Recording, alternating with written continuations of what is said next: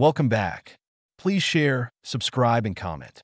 Introduction to Fluid Dynamics Answer Fluid dynamics is the branch of physics that deals with the behavior of fluids, liquids, and gases in motion and at rest.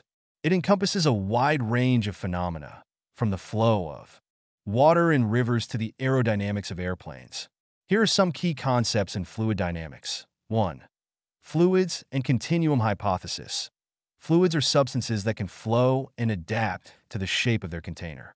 The continuum hypothesis assumes that a fluid can be described as a continuous medium, meaning its properties, density, pressure, velocity, vary continuously in space.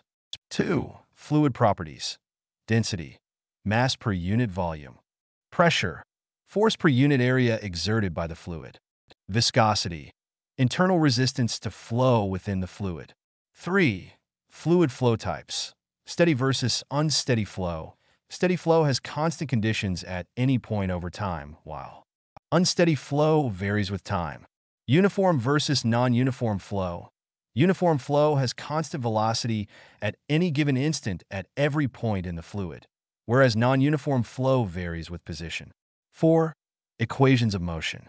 Continuity equation states that the mass flow rate into a control volume must equal the mass flow rate out, ensuring conservation of mass.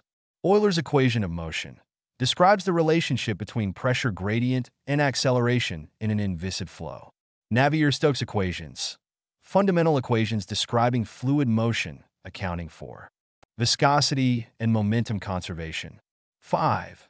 Bernoulli's principle states that in a streamlined flow of an ideal fluid, the sum of pressure energy, kinetic energy, and potential energy per unit volume remains constant along any streamline.